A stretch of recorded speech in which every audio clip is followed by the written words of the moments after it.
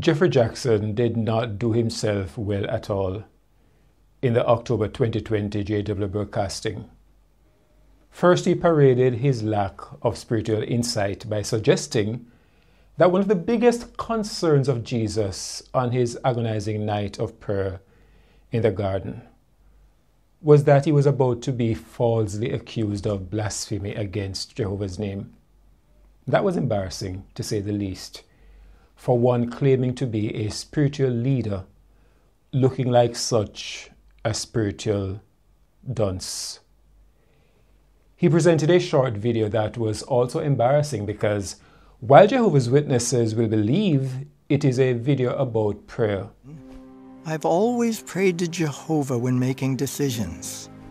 Many saw through the mind control, the motive of keeping Jehovah's Witnesses controlled and loyal to the organization. One may say, well, mission accomplished.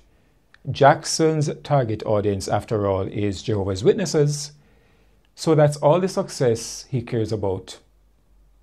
That's not true.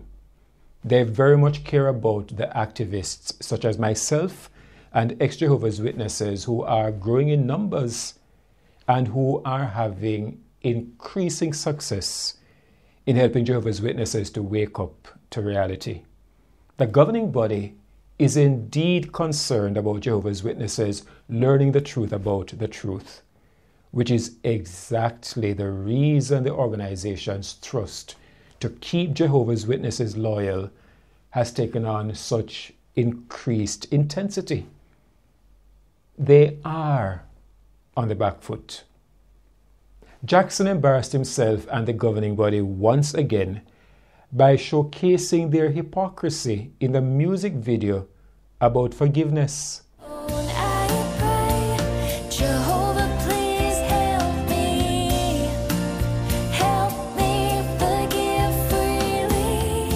How on earth can the organization that once chastised the Catholic Church for using disfellowshipping as a weapon, a weapon, to be so absolutely hypocritical that it has gone one upon the Catholics by adopting not only disfellowshipping, but adding shunning as their weapon, teaching mothers and fathers not to even take telephone calls from their children, their disfellowshipped children. And must it not ring hollow when they preach forgiveness? The two cannot go hand in hand. Forgiveness and shunning. No way.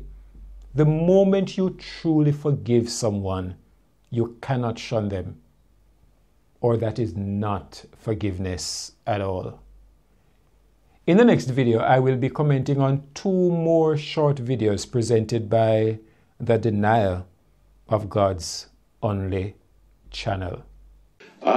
That I think would seem to be quite presumptuous to, to say that uh, we are the only spokesperson that God is using.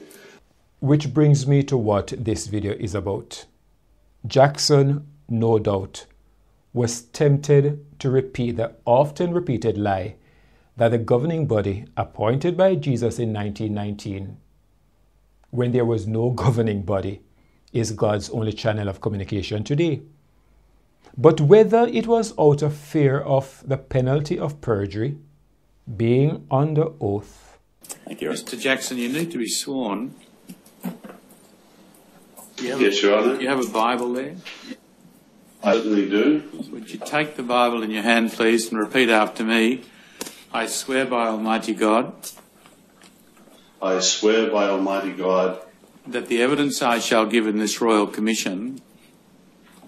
That the evidence I shall give in this Royal Commission. Shall be the truth shall be the truth, the whole truth, the whole truth, and nothing but the truth. And nothing but the truth. Yes, thank you. Take a seat again, please. Thank you. Yes, Mr. Stewart. As Your Honour pleases. Or whether it was a rare desire for once to speak the truth about the matter, Jackson told the truth. It would indeed be presumptuous to say that they are the only channel that God is using. The sad thing, however, is that in speaking the truth, Jackson was lying. How about that? The man seems incapable of speaking the truth without lying. Because while it is true that it would be presumptuous for him to say, that is what they actually teach, what they believe, what Jehovah's Witnesses believe. So, in a sense, he was lying by answering the question as if to say, No, we do not teach that. From where did you get that idea? Not only is it false, it would be quite presumptuous. It's amazing that you could think that we could ever entertain such a thought. That is what it really is. Such a liar. What if Geoffrey Jackson had learned the very lesson that he was trying to teach Jehovah's Witnesses in the October broadcast? To pray as Jesus did and resist temptation as Jesus did. One example occurred in 32 CE, about two and a half years after the initial temptations. Please turn to John chapter 6 and verse 15. Then Jesus, knowing they were about to come and seize him to make him king, withdrew again to the mountain all alone. This seems like a similar temptation to what Jesus had already faced. But this time the setting was different. Satan didn't directly offer the kingship to Jesus.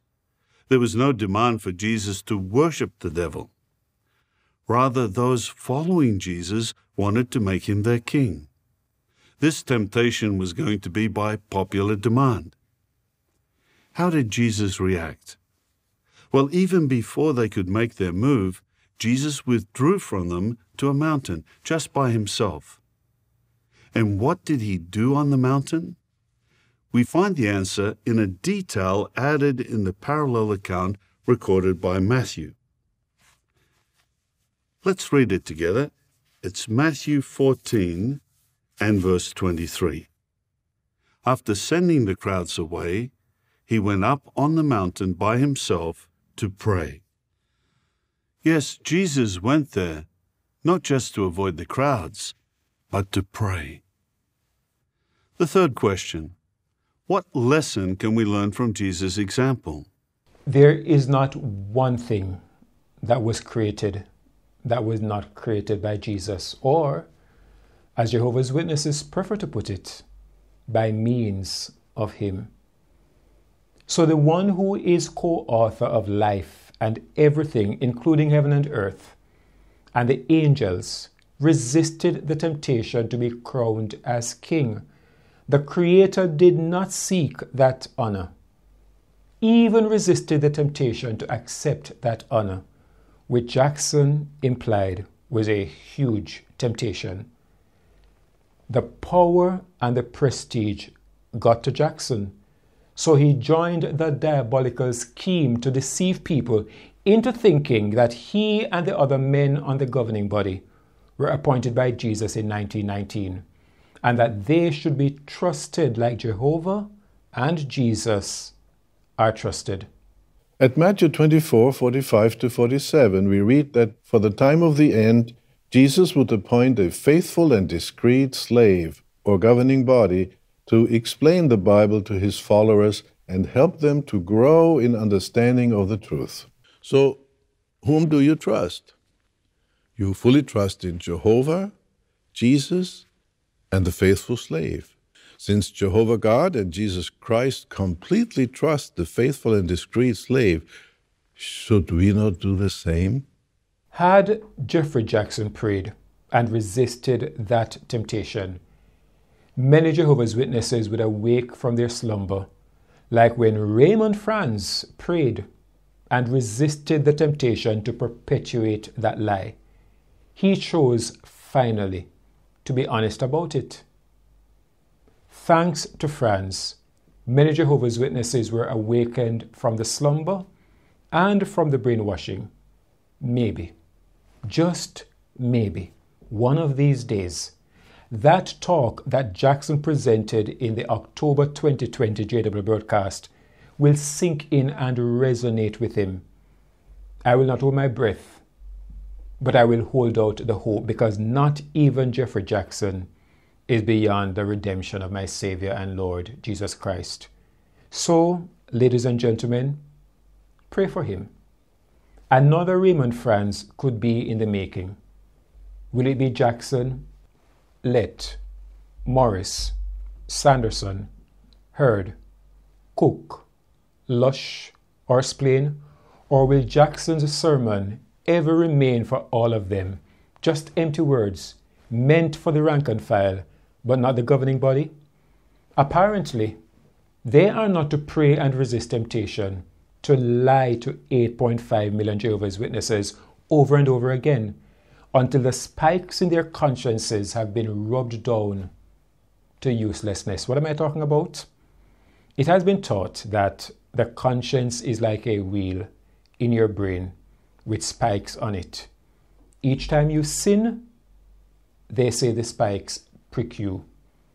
But the more you continue to sin, the duller the spikes get until you no longer understand what guilt feels like. Is it all over for these men? Is there hope for them? There is hope. I do remember my Lord once asking Ezekiel, Son of man, can these bones live? Even the conscience dead men on the governing body can have a spiritual resurrection. What a beautiful day that would be. Such is the power of the Lord, but only to those who desire it. But whatever happens, I will continue to do my part, that of the Lord I can be used to help another Jehovah's Witness to wake up. You can help by pressing that like button, which will help this video to go to another Jehovah's Witness. Don't forget to subscribe and hit the bell so you will be notified when the videos, when new videos are released.